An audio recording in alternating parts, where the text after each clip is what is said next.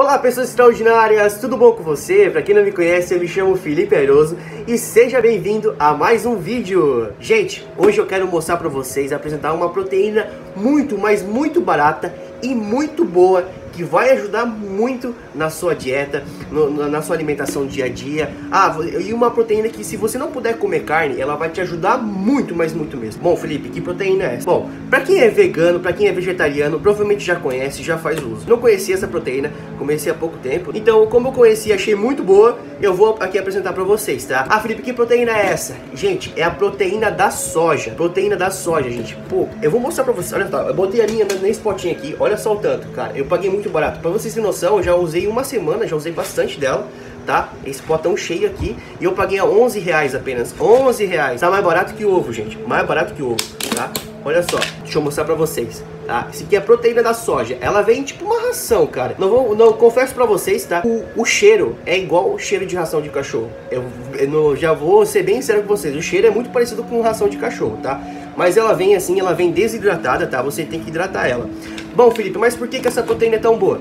Bom, ela tem a, a, quantidade proteica dela e qualidade de proteína, ela é muito similar à proteína da carne. Se eu não me engano, a qualidade de proteína da proteína da soja, ela é 78% mais ou menos. E a da carne, carne vermelha, é na qualidade de síntese de proteína é 82% assim. Não, eu acho, eu acho que é isso, tá? Me corrija se eu estiver errado. A qualidade dessa proteína é muito boa. Assim, não posso dizer que ela vai substituir a carne. Por quê? Porque nenhum alimento é substituível, tá? Cada alimento tem a sua qualidade, cada alimento tem a sua síntese. Então não dá pra gente ficar falando assim, ah, isso vai substituir tal coisa que não vai. Mas se você quer bater proteína na sua alimentação, você está precisando bater proteína, está precisando de mais proteína, a proteína da soja ela vai complementar e vai te ajudar muito, tá? E assim, ela é muito barata, ela tá mais barata que o ovo, tá? Porque o ovo hoje, meu, uma cartela com 30 ovos no mercado tá quase 20 reais. E um pacotinho desse aqui, ó, eu é, se eu não me engano, vem 500 gramas de proteína da soja, eu paguei 11 reais no mercado. E assim, você vai usar muito pouco. Você vai usar uma porção de 50 gramas. Por quê? Ela vem, como ela vem desidratada, você precisa hidratar ela. Então eu vou te ensinar como hidratar, vou te ensinar o passo a como você vai preparar ela. Mas você precisa hidratar ela, então ela aumenta de tamanho. Então ela já vai ser suficiente para sua refeição. Eu vi nas especificações dali, 100 gramas, ela tem equivalente a 81 gramas de proteína, tá? Então ela é muito rica em proteína, mas a gente vai usar apenas 50 na refeição. Se você quiser usar 100, pode usar. Mas eu acho que para mim, eu acho muita, eu acho muito para comer na hora acaba estufando. Então eu vou preparar aqui, eu vou ensinar passo a passo para vocês. Cara, essa proteína é muito facinho. Só que assim, tem que ser bem preparadinha, bem temperadinha para comer e para ficar gostosa, porque ela tem um, um, cheiro de ração de cachorro, confesso para vocês. Mas vale a pena, tá? Vale muito a pena. Vamos lá, eu vou mostrar os ingredientes que eu vou usar para poder temperar ela. Bom, gente, para você preparar a proteína da soja é muito simples. Você vai precisar de uma xícara mais ou menos dessa aqui. Eu acredito que você tem na sua casa, né? Acho que todo mundo tem uma xícara dessa em casa. E você vai pegar, usar a metade dela de proteína, tá? Apenas a metade, que vai ser o suficiente para 50 gramas. Eu tenho balança aqui, mas se você não tem balança na sua casa, usa essa medida aqui, ó. Olha só. É isso aqui, cara. É bem pouquinho, tá? Isso aqui vai render uma baita de uma, uma refeição para você. Você joga ela no potinho, tá? No potinho, porque você vai ter que deixar ela, ela hidratando por 5 minutos. Agora, o que a gente vai fazer? A gente vai botar essa mesma quantidade de que a gente colocou de, de proteína, a gente vai colocar de água, tá? Então eu vou botar duas dessas de água. Eu já vou, vou colocar aqui e já mostro pra vocês. Ó, coloquei aqui agora duas de água. É que eu tô filmando sozinho, então em pé, gente. Eu vou colocar duas dessas aqui de água, tá? Aqui dentro. Eu vou colocar aqui, ó. E agora eu vou botar mais uma dessa de água, tá? Aí, agora sim, a minha segunda de água, ó. Coloquei aqui. Ah, parece que é muito. Não, olha só. Essa porção aqui, você vai deixar por 5 minutos hidratando, tá? Deixa hidratando ela por 5 minutos. Deixa ela aqui paradinha.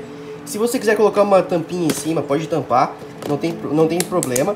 Mas ela precisa ficar aqui por 5 minutos para ela hidratar. Como ela vem desidratada, ela precisa chupar, é, chupar sugar água ali para poder crescer. E ela vai render uma baita porção. Até eu acho que eu coloquei muito.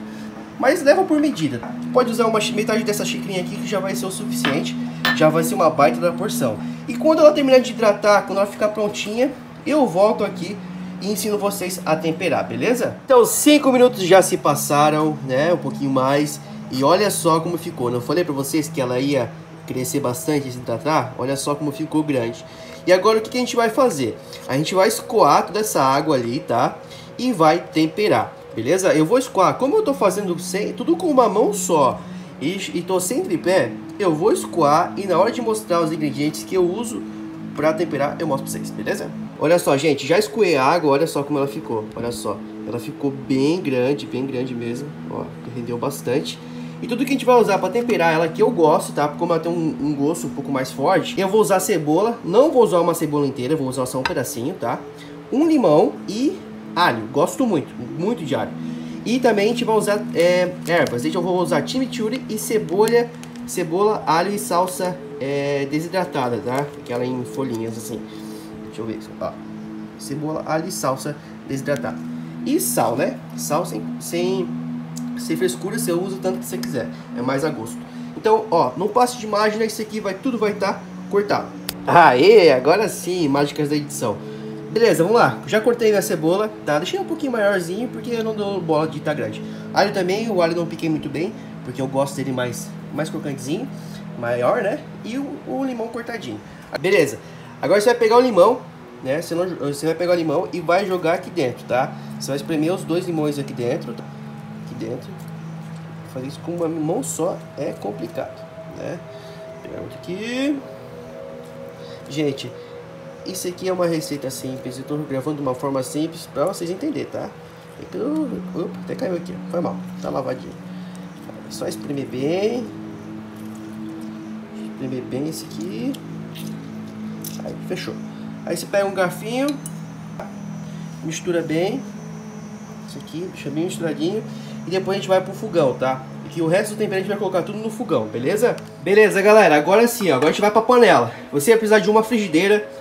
É, eu tô usando manteiga. Se você não tiver manteiga, você pode usar óleo de coco. Mas eu não recomendo muito usar óleo de cozinha, óleo de soja, até senão vai ficar muito gorduroso. Eu uso a manteiga porque ela gordura um pouquinho melhor. Eu prefiro, né? Mas se eu quiser usar o óleo, pode usar, mas bota pouquinho. Aí, ó, peguei a manteiguinha, joguei ele dentro, né? Vai dar, deixar, deixar ela derreter bem primeiro. E depois que ela estiver mais derretidinha, a gente vai jogar aqui o nossa cebola e o nosso alho para dar uma, uma douradinha aqui primeiro, tá? Para tirar bem o gosto forte, deixar ele dourar um pouquinho. Vamos esperar aqui e depois nós jogamos ali dentro. Aí depois que você jogou a sua cebola e seu alho, aí você pega uma espátula e mexe, né? Para dar uma refogadinha nesse, nessa cebola, para dar uma fritadinha, né? Ó, vai mexendo até ficar top. Ah, conselho pra vocês, tá? Coloque em fogo médio. Fogo, se for fogo alto, vai queimar, beleza? Então eu vou dar uma refogadinha assim, né? Que eu colocar a, a proteína, eu mostro pra vocês. Aí, agora tá na hora de nós jogar a nossa proteína. Aí, vou jogar aqui dentro. Bate tudo aqui bem. Fechou. A gente vai pegar a nossa espátula. Gente, não repara é muito simples, eu tô fazendo sozinho, tá? A gente vai começar a mexer tá? Começar a mexer aqui. Agora a gente vai colocar o sal e vai colocar os outros temperos, beleza? Deixa eu colocar aqui. Beleza, a gente jogar uma pitadinha de sal. Não muito, não gosto de muito sal. Vou botar só um pouquinho. Fechou. Não gosto de muito sal. Dá uma mexidinha.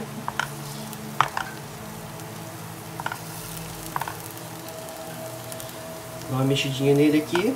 Agora vamos jogar o chimichurri e a cebola. Aí você vai precisar usar as duas mãos. Então, prontinho. Chimichurri jogado, cebolinha e salsa também jogadinha. Agora é só mexer. Ah, Felipe, agora como é que eu sei quando tá pronto? Gente, quando, quando essa aguinha do limão, né, ela tiver bem sequinha e a proteína da soja já tiver bem douradinha, bem fritinha assim, vai ser o ponto certo, tá? Então eu vou fazer aqui com as duas mãos, prestar atenção que fazer tudo com uma mão só é complicado. Então eu vou fazendo aqui, olha só como vai ficando bonito. Isso aqui vai ficar um gosto bom, tá gente? Vai ficar top. Olha só. Vou fazer aqui, quando tiver pronta mesmo agora, eu mostro o resultado final pra vocês, beleza? Gente, ficou pronta. Olha só que coisa mais linda. Parece até uma carne moída, cara. Olha só. Olha só que coisa mais linda. Olha isso. Caraca, velho. Olha só. Linda, né? Gente, ficou pronta. Olha só, essa aqui é a nossa proteína da soja. Olha só que coisa mais linda, cara. Olha isso. É isso aí, cara. Ficou pronta, é bem facinho de fazer. Quando ela ficar douradinha assim, quer dizer que tá pronto, tá? Você pode comer ela com arroz, com macarrão integral. Eu acabei de descongelar, eu tinha uma marmitinha de macarrão integral. Acabei de descongelar e vou comer com macarrão integral. Ela é bem facinho de fazer, tá? É, eu peço desculpa pela forma simples como eu gravei o, o, procedimento passo a passo, mas é como eu pude gravar agora, né? Não, tô, tô sem tripé, tô sozinho. Esse aqui eu tô fazendo, tô gravando o meu almoço, tá? Que eu vou comer isso agora. Vou fazer esse vídeo mesmo pra ajudar vocês que às vezes não sabem o que comer, pra completar a proteína da dieta. Às vezes, pô, o ovo tá caro, hein? A proteína da soja tá barato. Então é uma opção a mais pra vocês. Quis passar um pouco do, do que eu aprendi, né? Fazendo as minhas dietas. Espero que vocês tenham gostado do vídeo. Beleza? Agora eu vou agora comer, que eu tô morrendo da fome, porque esse é o meu almoço. E lembrando, né, gente? Um recado bem importante para vocês. Seguem meus patrocinadores aqui na rede social, tá? Aqui na, na descrição do vídeo. Academia Expressão Corporal, Personal Nicole Lopes e o Bai Felas. Vocês estão ajudando muita gente a crescer aqui no canal, como a minha vida de atleta também, estão me patrocinando.